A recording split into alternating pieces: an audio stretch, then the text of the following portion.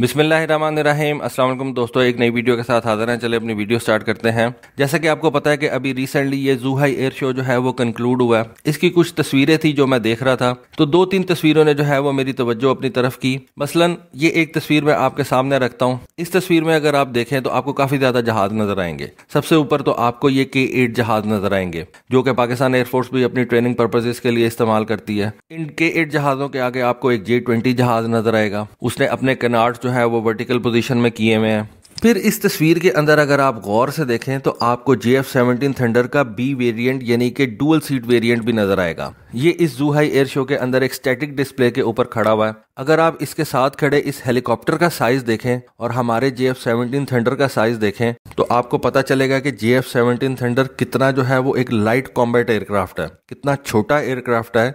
Size के हवाले से कोई बहुत ज़्यादा बड़ा जहाज़ नहीं है। लेकिन इसकी जो परफॉर्मेंस है, वो बहुत ज़्यादा बेहतर है। पाकिस्तान एयरफोर्स ने एक छोटे जहाज़ के अंदर इन्वेस्ट किया है और आने वाले दिनों के अंदर ये एक छोटा सा लाइट कॉम्बैट एयरक्राफ्ट जो है, ये पाकिस्तान एयरफोर्स का वर्क हॉर्स बनने जा रहा है। बल्कि आप कह सकते हैं कि ऑलमोस्ट ऑलमोस्ट बन गया हुआ है। क्योंकि एक अच्छे खासे नंबर के अंदर अब ये पाकिस्तान एयरफोर्स में इंडक्ट हो चुका हुआ है। तो उसके बाद अगर आप ये देखें तो ये आपको विंग लॉन्ग टेन ड्रोन नज़र आ रहा है। इसकी पूरी तस्वीर नहीं है इस पिक्चर के अंदर। लेकिन विंग लॉन्ग टेन जो ड्रोन है, जो कि चाइना का बनाया हुआ ड्रोन है, उसका ऑलमोस्ट साइज़ जो है आपको जे एफ़ सेवनटीन थंडर जितना नज़र आएगा। फिर राइट साइड के ऊपर आपको कुछ विंग लॉन्ग टू ड्रोन नज़र आएँगे। ये बेसिकली इनके ऊपर आपको नज़र भी आ रहा होगा कि विंग लॉन्ग टू एच लिखा हुआ है। यानी कि ये wing Loong two H drone है। तो अगर आप इन विंग लॉन्ग टू जहाजों के विंग स्पैन का साइज़ देखें और जे एफ़ सेवनटीन थंडर के विंग स्पैन का साइज़ देखें तो आपको ऐसा लगेगा कि जे एफ़ सेवनटीन थंडर इनके मुकाबले में एक बहुत छोटा सा जहाज़ है।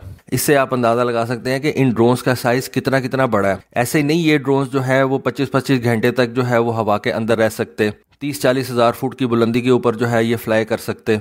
25 से 30 घंटे हवा के अंदर रहने का मतलब है, तकरीबन डेढ़ दिन जो है, ये हवा के अंदर ही रहते हैं। तो एयर फोर्सेस क्यों ना इन चीज़ों के अंदर इन्वेस्ट करें? नीचे जो पायलट इन ड्रोन्स को उड़ा रहा है, वो आठ घंटे बाद अपनी ड्यूटी चेंज कर लेगा। लेकिन ये जहाज़ जो है तीन तीन चार चार पायलटों की ड्यूटी जो है, वो कर रहे हैं। उसके बाद एक ये तस्वीर आप देख सकते हैं। इस तस्वीर में आपको चाइना का वाई ट्वेंटी ट्रांसपोर्ट एयरक्राफ्ट नज़र आ रहा है और जे ट्वेंटी फाइटर जेट जो है, वो नज़र आ रहा है। इस तस्वीर को दिखाने का मकसद ये है कि जे ट्वेंटी का साइज़ कितना बड़ा है। वाई ट्वेंटी तो एक ट्रांसपोर्ट एयरक्राफ्ट है, जबकि जे ट्वेंटी एक फाइटर जेट है। लेकिन फिर भी आप ये देखें कि जे ट्वेंटी का साइज़ कितना ज़्यादा बड़ा और शायद अपने साइज़ ही की वजह से ये एफ़ थर्टी फाइव से जो है वो ज़्यादा रेंज रखता है। और इस मामले में अमेरिकन को जो है वो काफ़ी ज़्यादा मुश्किल का सामना है, क्योंकि उनका एफ़ थर्टी फाइव भी इतनी ज़्यादा रेंज नहीं रखता और उनका एफ़ ट्वेंटी टू भी इतनी ज़्यादा रेंज नहीं रखता जितनी इस जे ट्वेंटी की रेंज है। क्योंकि इसके अंदर जो इंटरनल फ्यूल है वो काफ़ी ज़्यादा आ सकता है। फिर ये एक बड़ी पिक्चर जो है वो आपको नज़र आती है। इसमें जो मैंने आपको दिखाया था ना जी एफ़ सेवनटीन थंडर एक स्टैटिक डिस्प्ले के ऊपर खड़ा हुआ है। ये एक कोने के अंदर वो आपको स्टैटिक डिस्प्ले जो है वो नज़र आ रहा है। इसके इर्द गिर्द आप देखें, आपको विंग लॉन्ग ड्रोन जो है वो नज़र आएँगे। और इस तस्वीर से आप अंदाज़ा लगा सकते हैं कि ये जो विंग लॉन्ग ड्रोन है, ये कितना बड़ा है। यहाँ पे आपको चाइना का एक स्टेल्थ ड्रोन जो है वो नज़र आ रहा है। इसके साइज़ के बारे में आप कह सकते हैं कि ये almost almost J F seventeen Thunder जितना है। फिर इस जगह पे आ जाए। ये आपको विंग लॉन्ग टेन ड्रोन जो है वो नज़र आ रहा है। ये भी मेरा ख्याल है कि जे एफ़ सेवनटीन से बड़ा ही है। इसका wing span wing Loong two जितना तो नहीं है, लेकिन ये भी एक अच्छा खासा बड़ा ड्रोन है।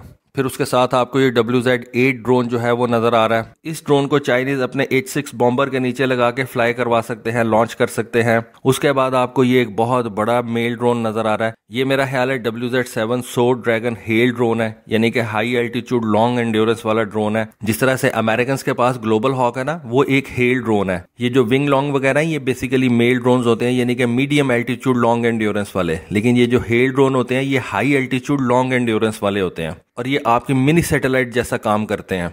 क्योंकि ये इतने ज़्यादा एल्टीट्यूड के ऊपर जाके तो फ्लाई कर रहे होते हैं। मेरा नहीं ख्याल जी एफ़ सेवनटीन थंडर या एफ़ सिक्सटीन या कोई भी फाइटर जेट जो है, इस एल्टीट्यूड के ऊपर जाके तो जो है वो ऑपरेट कर सके। उसके बाद फिर आगे आपको जो है वो विंग लॉन्ग टू ड्रोन ही नज़र आ रहा है। फिर ये के जे फाइव हंड्रेड उनका ए वैक्स है। फिर ये वाई नाइन जो है, उनका एक ट्रांसपोर्ट जहाज़ है। वाई नाइन जहाज़ के जो है, वो काफ़ी ज़्यादा वेरिएंट बनाते हैं। उसमें वो इलेक्ट्रॉनिक अटैक वाला भी जहाज़ बनाते हैं। और अपनी नेवी के लिए भी काफ़ी ज़्यादा मुख्तलिफ़ किस्म की जो है, वो जहाज़ इस्तेमाल करते हैं। प्लेटफॉर्म पीछे एक ही है। उस जहाज़ को मॉडिफाई करके उससे वो मुख्तलिफ़ काम लेते हैं। उसके आगे चाइना का वाई ट्वेंटी ट्रांसपोर्ट एयरक्राफ्ट खड़ा हुआ है। उसके साथ एच सिक्स बॉम्बर खड़ा हुआ है। उसके साथ आपको दो जे सिक्सटीन जहाज़ नज़र आ रहे हैं। या इनमें से एक जे सिक्सटीन है और एक जे इलेवन है।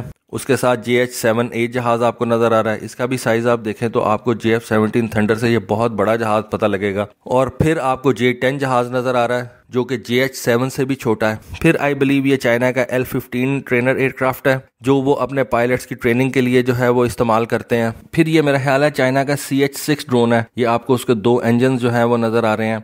ये उन्होंने अपने पिछले जूहाई एयर शो के अंदर अनवील किया था। इस जूहाई एयर शो के अंदर भी उन्होंने ये एक कोने के ऊपर रखा हुआ है। फिर ये चाइना का आपको कमर्शियल जहाज़ जो है वो नज़र आ रहा है। तो ये एक बड़ी तस्वीर थी, जिसके अंदर उन्होंने अपने बहुत से एयरक्राफ्ट जो है वो एक ही पिक्चर के अंदर दिखा दिए हैं। तो सोचा आपके साथ ये तस्वीर जो है वो शेयर करूँ। तो दोस्तों, ये थी आज की वीडियो ये थी आज की इन्फॉर्मेशन होपफुली आपको आज की वीडियो आज की इन्फॉर्मेशन पसंद आई होगी। कमेंट सेक्शन में अपनी राय से ज़रूर आगा कीजिएगा। आज के लिए बस इतना ही। थैंक यू अल्लाह हाफिज़।